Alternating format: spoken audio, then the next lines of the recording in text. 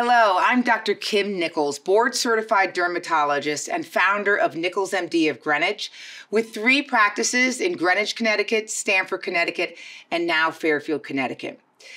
Today, I'm so excited to be demonstrating three of my favorite treatments with three of my favorite products. And that's Dysport to treat the glabellar frown lines and relax those, Sculptra, which is the collagen stimulating filler that's gonna give us some volume and lift, and Restylane Kiss, which is my favorite product for the lips dedicated to lips only because it helps not only with enhancing the volume and the structure of the lip, but most importantly, in improving the texture and lines and softening to give a beautiful kind of lip gloss appearance to the lips.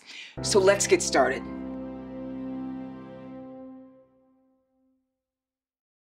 Hi, Alicia. I'm Dr. Nichols. Hi, so Dr. nice to Nichols. meet you. So welcome, nice welcome. you. So nice to meet you. Thank you. So I'm really excited about the treatments we're going to be doing today. Yes. But tell me a little bit about, you know, what you've been starting to see. I mean, gosh, you have a gorgeous face. So, you know, mm-hmm. tell me a little bit about what you want to start working on or, or what's starting to bother you, and we'll talk about what we can do. Okay, awesome. Yes, so um, I'm a professional ballerina as well as a model and actress, so I'm very expressive with my face a lot of the times. Um, and I've noticed that I've started to develop some expression lines that I'd want to fix. Um, also, uh, my lips are like my favorite feature um, of my face, um, but I just love the, the look of, you know, full lips that I would uh, love. And also, I've heard some great things about Sculptra, so I would favorites. definitely love to try that out. Yeah, and I think you're a great candidate for all of them, but just with a very, you know, kind of light touch. Yeah. You've got very delicate features. Of course, you're Yes. a ballerina. um, so um, we want to keep everything kind of soft and Yes. natural looking. Okay. So softening these frown lines a little bit with Dysport, I think Okay. that would be a great idea. Cool. Um, and then using the Sculptra, and you've got a great shaped lips, like you said, it really is, you know, one of your best features. Mm. Thank you. But just enhancing it a little bit with the Yes. Restylane Kiss, softening up, Yeah. um, you know, the features there. I think you're going to love it. Awesome. Thank you so much. I'm so excited. Me too. So today we're going to start with the Dysport. Okay. And really that's going to be to help to, you know, relax those frown lines that we talked about because I know you Mm-hmm. use them a lot. And that's, you know, that's what a lot of people do. Genetically, Mm-hmm. some of us have very strong expressions. I know I do too. So helping to use the Dysport to kind of relax those a little bit will will help with that in terms of what you're seeing in- in terms of those expression lines. All right, so let's start with making a very strong frown for me here. Good. Yeah, great. Wow, you have, you have a really nice glabellar net, network of muscles here. And just pointing out, we're going to be doing five injections into this glabellar muscle. One is going to be into the medial belly of the procerus. One's going to be a deeper injection into the um, medial corrugator, a more superficial injection into the lateral corrugator, and that'll be on both sides. So really just five quick injection points, and that's going to treat this entire glabellar area for your frown lines. Are you ready to get started? Yes. Okay, let's do it.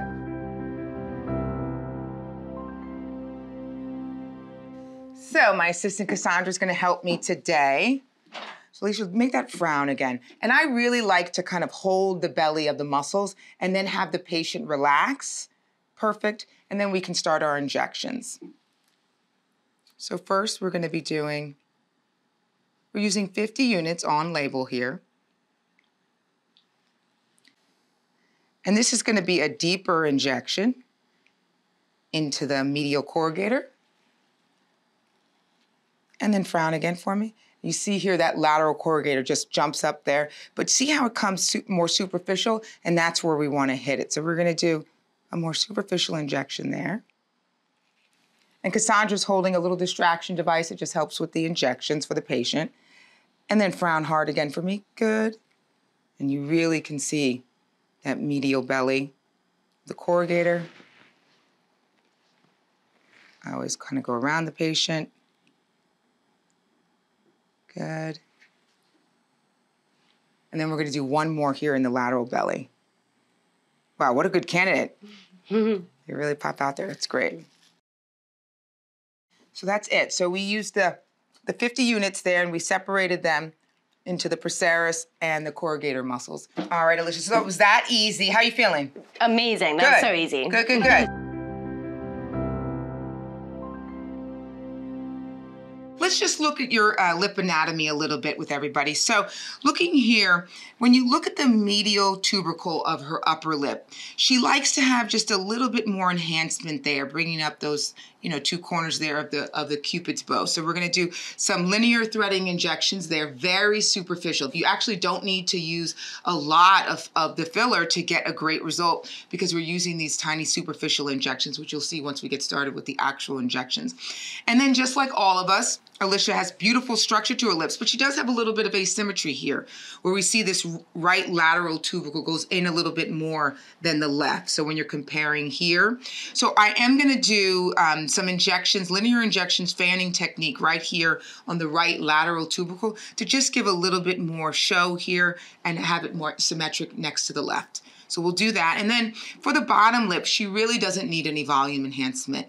All she needs is just a few linear injections in the middle of the lip, which will help enhance and soften some of the lines and improve the texture of her lips, which is one of the my you know favorite things about Restylane Kiss as compared to some of the other fillers. All right, are we ready to get started? Yes. Okay, perfect.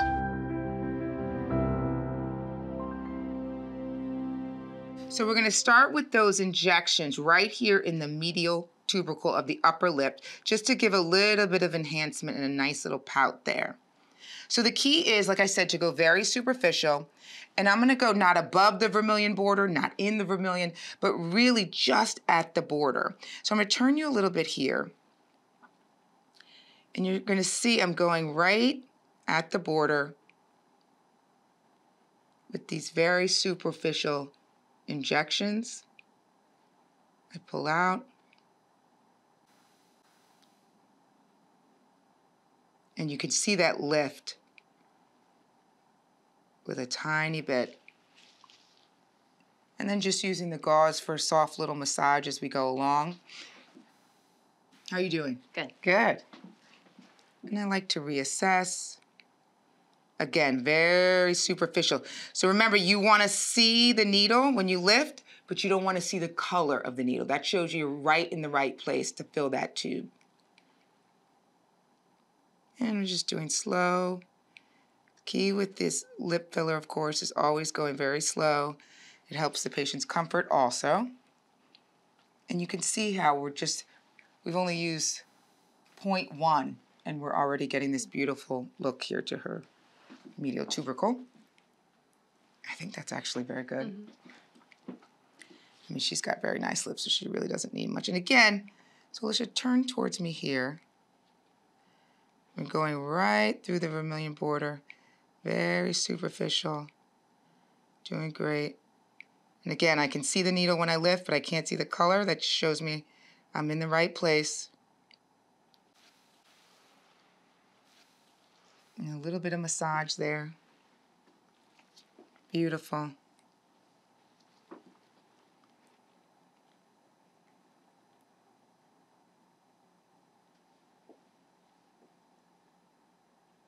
And again, just 0.05, a filler there. Excellent. Okay, so we're gonna do that right lateral tubercle injection. Just a little bit of fanning superficially to get this right lateral side to be more symmetric with the left side. So Alicia, I'm gonna have you turn a little bit there. And if you see here, as I turn the lip to prepare for the injections, I'm gonna go in the vermilion itself right above the wet dry border. And that's gonna give that little turnout that we want that she already has naturally on the left side. And again, very superficial. So you see here, I'm right in the vermilion, right above the wet dry border. Again, pulling the needle. I can see the needle, but I can't see the color of the needle and I'm doing anterograde and retrograde tiny superficial fanning injections. She does not need, need a lot here. I'm gonna do a little massage, see how that turned out. Good, so we're getting there just a little bit more. I'm gonna go even more lateral here, right to the oral commissure. So you're doing great. Again, very superficial, pulling up my needle just to see. You see how it just fills up so easily when you're in the right place. And you really don't need a lot of filler to get a great result when you're doing it that way. Let's take a look. Wow, pretty. Mm-hmm. Really nice. Looks great. Beautiful. I think we're good there. I'm going to do a little bit of an injection just in the cupid's bow, just to enhance the shape there. And for that, I come across, and again, I'm going to go right into the border there.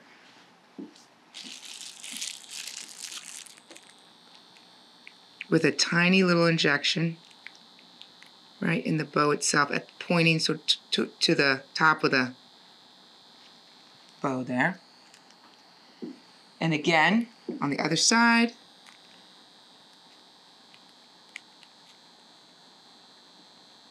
Just enhancing that natural shape she's got, which is a gorgeous one. Beautiful. So we're almost done with her lips. Again, she didn't need a lot, but I do want to soften some of the lines and improve a little bit of the texture of the bottom lip. And for that, I just do some superficial linear injections into the middle of the uh, bottom lip there. And that's where most of the lines there you see. And it's gonna really help to soften and also give her a teeny bit more pout because her upper lip is looking so gorgeous. All right, so we'll get started. Again, I'm in the vermilion itself, not in the border, just in the vermilion itself, just to improve some of the texture to very linear injections. And you can again see the needle, but you can't see the color of it. You see how I'm just threading here. Such a small amount of filler. I'm up to, I've used about 0.4 so far in total. Now I'm going a little bit more medial. Again, just that fanning coming out. And again, the lateral commissures of her bottom lip look great. So I don't think we really need to do anything much with them. But now I'm gonna come to the other side. Oh wow, these are gonna mm -hmm. look so good. And again, just a little superficial fanning. It's almost like lip gloss, to be honest with you kiss. It really gives kind of that lip gloss look, and people don't even know that you've had any filler done. They just want to know where you bought that lip gloss. We don't tell them. now, again, just a teeny bit of fanning, very superficial. How you doing, Alicia? Good. Good. All right, so I'm gonna do one little, another one here, and then we should be all set. And again, I'm in the vermilion itself. Very superficial.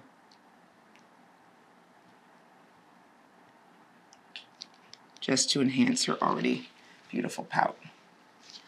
I love it. Hmm. All right, so let's sit you up. Okay. And let's take a look and we'll check for everything. All right, Alicia. So we finished the lip treatment with the Restylane Kiss, and your lips look amazing, and I want you to see them. I'm so excited. So here's a mirror. So take a look and see what you think. oh my god! Don't they look good? Yes, this is perfect. They look so good. They just yeah. look subtle, sweet, soft, and beautiful. really enhance your already beautiful shape. Yes. So why don't you give it a kiss? Yes.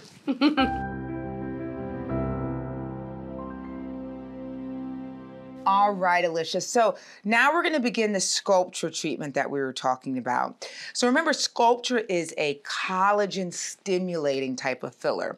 You don't need a lot, just a subtle enhancement. And when we're looking at Alicia's face here, we can see Alicia actually turned down a little bit. I think that's the best way to show it. We're seeing a little bit of volume loss here, which is causing the nasolabial folds and the marionette lines to be more prominent. So we're going to use the Sculptra here in the back in the preauricular area, in the lower uh, submalar cheek area to give some lift here, which I think was all we need to help with that bit of volume loss we're getting here in the mid cheek and the nasal labial fold, which is something that earlier in the consultation you did mention was starting to bother you. Mm-hmm. So we're going to start today with just, you know, she's got a very petite face, so I don't want to overcorrect. So we're going to start today with just one vial of Sculptra, and then we'll bring her back in about four to six weeks for a possible second treatment. And that way we can eva- evaluate after we've seen what the collagen generation has happened over those four to six weeks. I'm excited. Are you? Yes, very. Great. So, Alicia, we're going to begin the injections, and there's not a lot of injections for the Sculptra today. Now, I know we've already disinfected Alicia's face, but we'll just do another little clean, little alcohol. And the key with Sculptra is to always make sure that you're continually inverting the syringe, making sure that the PLLA particles are fully distributed before you inject. And we're also going to be aspirating as we inject also and injecting just small amounts at a time. So if you could just turn your head, and I hope you guys can see this. Really, I just want to start working, like I said, on that preauricular area, and we don't need a lot uh, with Alicia today. She only needs a little bit of lift. We're going to come over here towards the nasal labial folds to help correct that. Now, Alicia, you're going to feel a little, this is that preauricular. Again, we're in that subdermal plane. And we're just doing tiny, usually about 0.1 per injection threading technique here. And again, moving along as we go.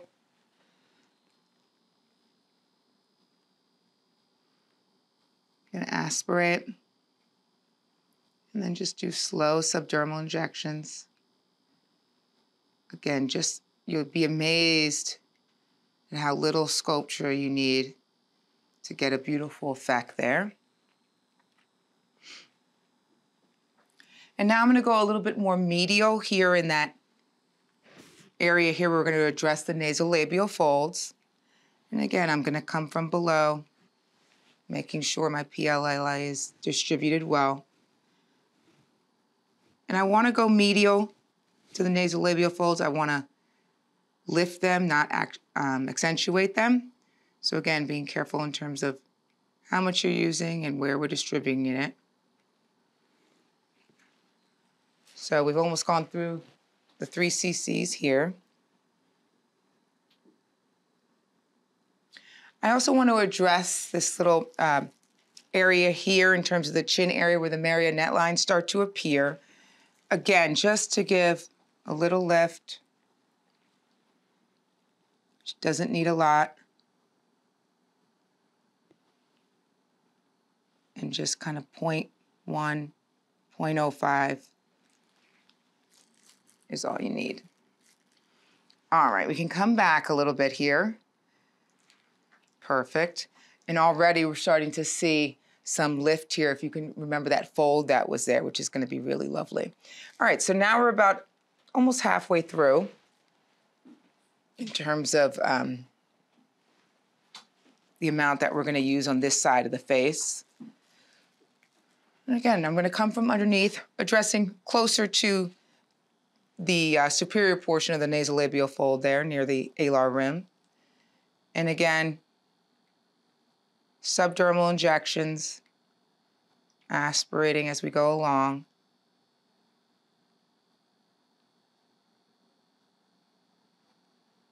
Good. Alicia, how are you doing? Good. Good. It's going to be really nice. And then same thing, almost done with this side, pointing again a little bit more towards the medial cheek, which is where she needs a little volume there.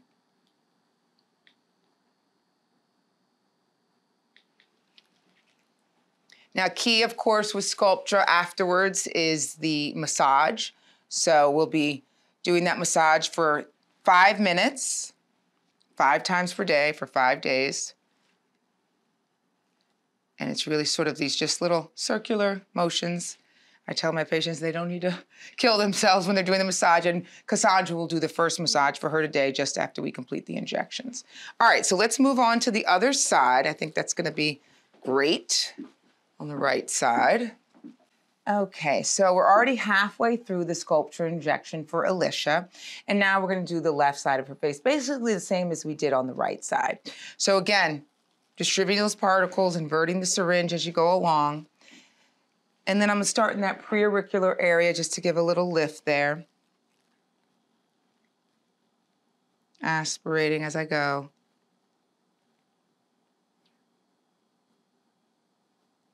And again, just using that little threading technique.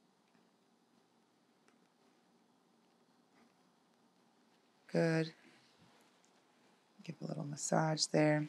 Then I'm gonna bring it back a little bit here. I'm going to address the inferior portion of the nasolabial fold. You guys can see those particles in there. Lovely visual. And then we'll address the superior part, just in that,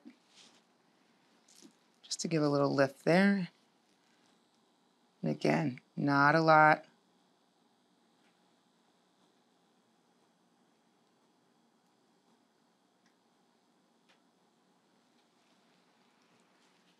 That was about 0.1 total.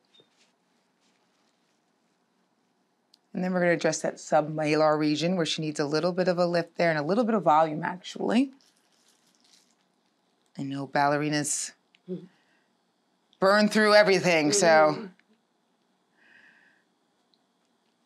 I'm so impressed. All right, we're almost done. I just want to adjust, uh, uh, address this uh, left marionette line area again. She's starting to get a little downturn of the oral commissure there just to due to a little bit of volume loss there.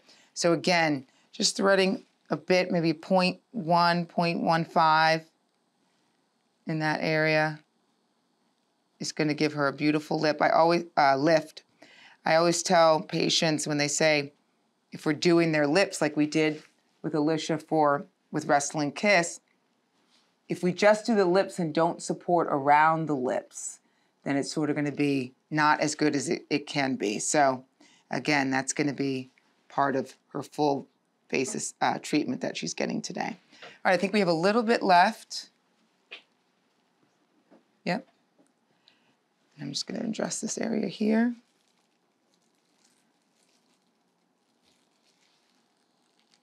Good aspiration. You guys can see the particles there. Excellent. So that was it. And I'm usually the one who starts the massage on the patient. But I always tell people five minutes is actually a pretty long time, so definitely time it because you'd be surprised. It's just like when you, the dentist tells you to brush your teeth for two minutes and you only do it for 30 seconds. But again, these little circular injections and it help it distribute over the next five days.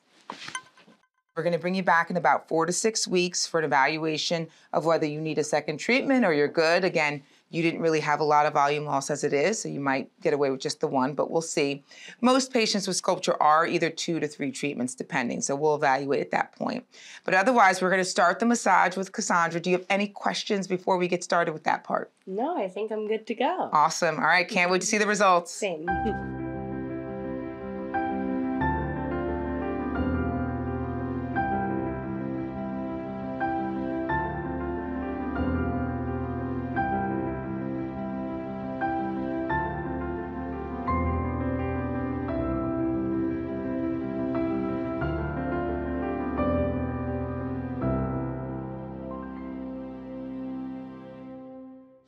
absolutely love my treatment. It's I expected it to be great, but it's even better than I expected.